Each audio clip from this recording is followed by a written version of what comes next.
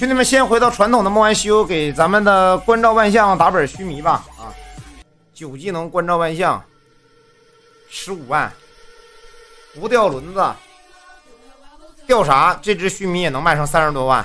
成本的话，差不多是二十四万左右吧。成本的话，大概二十四万。成品的话，直接就变成三十多万，血赚个五六个 W。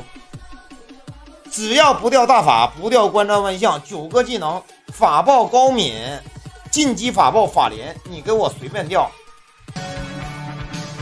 法资有点低，但是素资吃完营销真的很高啊！法资没到两千，但素资的话吃完以后，那应该能达到一千四百五十加啊，也算是一个超高速九技能必听了啊！硬件在的，成品的话能卖上三十多万，一本须弥进去。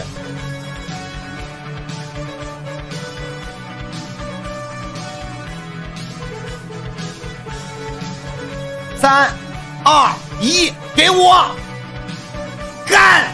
敏捷、法连、法爆。好，恭喜老板啊！恭喜老板啊！摊牌了，不装了，掉法爆了。高敏，然后是大雷，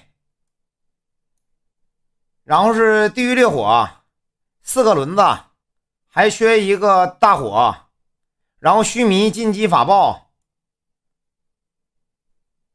关照万象，法莲，OK 啊，这样的话，这个宝宝现在已经有金级法爆，金级法爆第二次回合进入山洞的时候，他第二回合是百分之十六的暴击几率，比高级法爆还要好。然后可以换成一个高级魔心套啊，高级魔心套，因为毕竟有低有已经有金级法爆的情况下，就不需要再出额外的法爆了。而且低级法术暴击呢，高级法术暴击它没有特效，这个金级法爆除了有特效啊。这几个技能里掉的最好的。